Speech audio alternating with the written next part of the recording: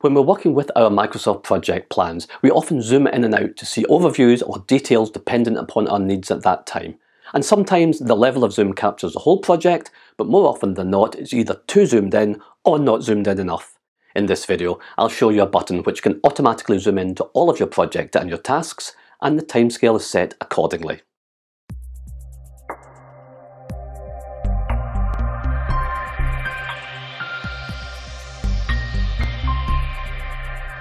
So here we are in our Microsoft project plan, and the timescale is set to the default of days.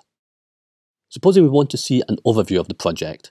Well, we can change the timescale to weeks by going to our View tab, our Zoom group, and we can drop down the timescales options to weeks. But we're still not getting a good overview, so back we go to our timescales and we choose this time months.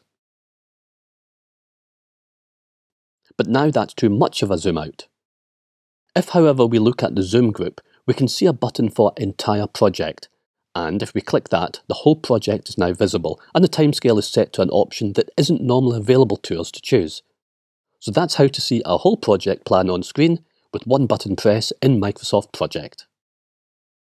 Well, I hope you found that useful, and if you did and you'd like more hints and tips on using Microsoft Project, then please follow my link tree to find out where I post on Twitter, LinkedIn and YouTube.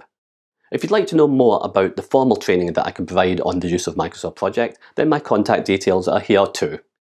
Thank you for watching and I'll see you again soon. Bye bye now.